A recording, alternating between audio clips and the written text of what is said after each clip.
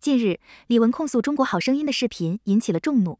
日前，李玟战队学员王泽鹏站出来替她发声，解释李玟摔倒当天的经过，发了一段长达十七分钟的视频，对当时的情况予以说明，表达了自己没有第一时间站出来的愧疚，并实锤了节目组对李玟造成的伤害。如果他们肯听我的话呢，就变成你站在我的旁边呢，不要分开两边，分开两边是错的。因为我现在我的腿我这站不定，我自己站不稳，而且我还要穿一个七寸高的高跟鞋，所以呢，我必须要有你的手，你的，我撑住你。可是呢，我撑住你，我知道有个靠山在我的旁边，我就靠住你。But 我会用我的手力，然后我自己会有戏去往另外一边看。可是是永不失联嘛，所以我是一直是手是碰着你是对的。So, anyways，希望你听到这个 message。你唱你的，好好去唱哦。你是最重要的，你是主角，所以你就把这首歌唱好就对了。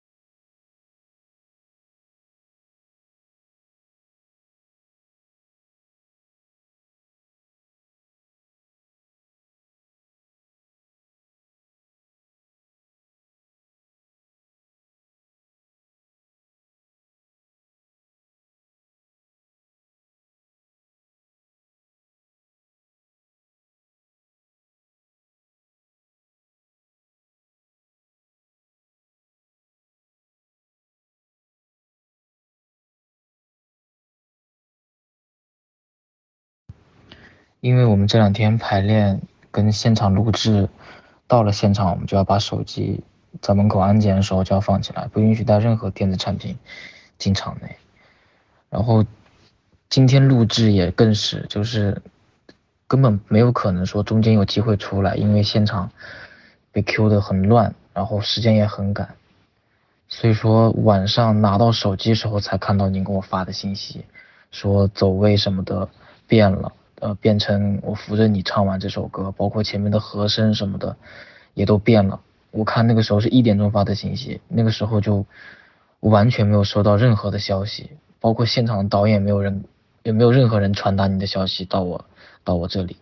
所以说，我一直都是按照我前天晚我晚上那会儿我排练的时候的走位，现场导演跟我说的走位去演出去演唱的。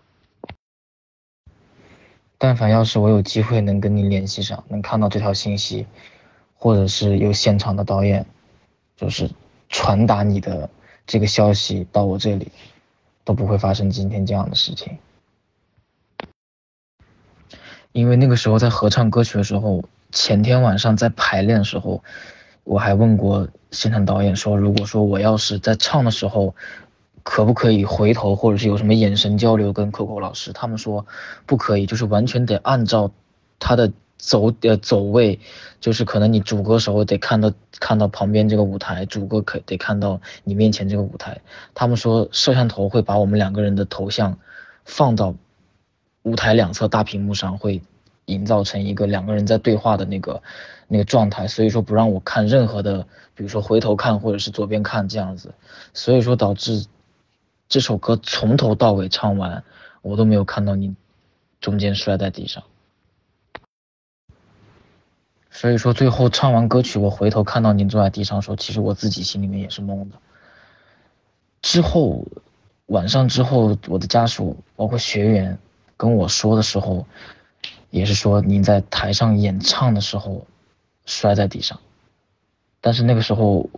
我也没有敢说，嗯。往左边去看，或者是往右边去去去瞄，或怎么着？因为我担心是那个时候现场导演跟我说，你可能往旁边撇的时候，那个机位会拍到或怎么样。所以说我在唱主歌的时候，当时排练走位跟我说，让我面向舞台左侧的这个走廊，然后唱副歌的时候让我面向我正前方，然后再转过去面向正前方的导师椅的位置。所以说就没有机会去往左右去瞄，去回头看，去有一些交流什么的。一直到最后唱完之后，转过头，我才发现你坐在地上。Hello，泽鹏，不好意思，昨天飞回去香港，然后跟我家里人在一起，很久没见到他们了，所以没关系的，事情都过了。其实就是导演，导演跟我说好，我们去改原本的安排，然后让你可以辅助我，是导演说的，然后最后让你按照原本的，这个就是所以我当场就说导演你讨厌我，你去整我，这个是太过分了，这个真的太过分，你要么就是不要答应我。答应我，就不要这样子对我。Anyways，现在知道，这世界有时候，这个世界有时候会碰到一些非常坏的人、坏心眼的人。那我也了解，你其中的合约也是跟蔡兴合作，所以他们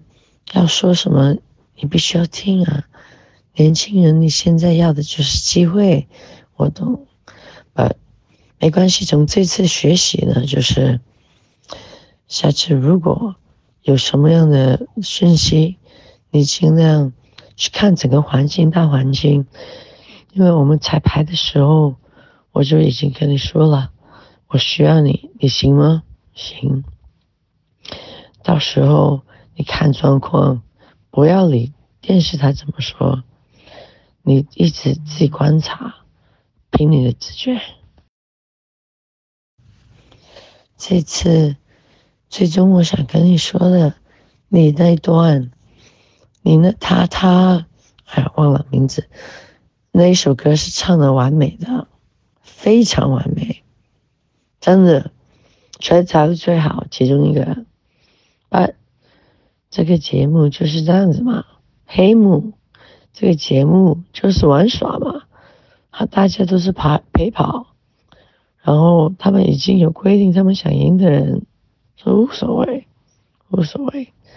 所以就是说留下的，我这么用心去做你的编曲，花很多时间去做你的编曲，让你有空间去让音乐去衬托你的声音，发挥到你最好的，每一首歌都可以做一个非常红的单曲。然后就变成你每一次留下的都是最好的作品，不只是你的声音、你的唱功，编曲上也是我的心血，我跟安东老师一起的心血，所以好多好多人去帮助你去完成这个嗯目标，所以记得也要感谢安东老师哦，所以。那一天发生的过去了，从那些学习就好了。下一次学习就是 Coco 老师那一天跟我说的，彩排的时候说我需要你，你行吗？好，到时候你看着状况，你看着状况不对，管他们怎么样，我也是整个的躺下来嘛，我才不理他管镜头，因为我脚撑不住啊。